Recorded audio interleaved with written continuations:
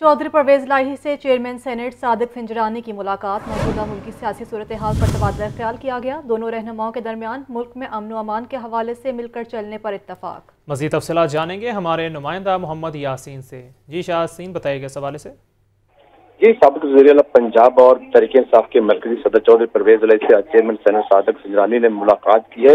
सादक सजरानी का इस मौका पर कहना था कि चौधरी परवेज अली मुझे वे सियासतदान है और अपनी जिम्मेदारियाँ अदा करते करने, करते हुए मुल्की इसकाम और तरक्की के लिए अपना रोल अदा करना चाहिए।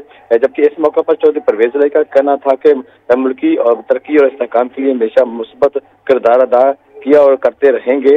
उनका मजीद कहना था कि इमरान खान का आने वाले सियासत में बड़ा अहम करदार होगा जिसकी वजह से पाकिस्तान की मीशत में इसकाम आएगा।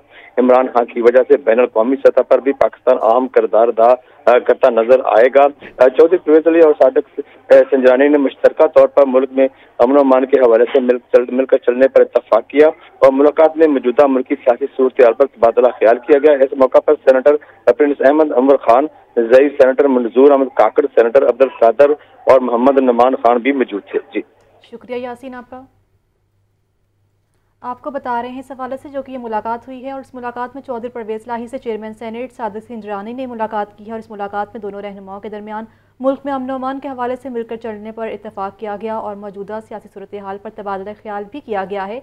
इस मुलाकात में चौधरी परवेज लाही ने गुफ्तु की है चेयरमैन सेनेट सादिक सिंजरानी से और ये कहा गया इस गुफ्तु में कि मुल्की सियासी सूरत हाल पर तबादला ख्याल करेंगे और दोनों रहनुमाओं के दरमियान मुल्क में अमन अमान के हवाले से मिलकर चलने पर इतफाक़ किया जाए।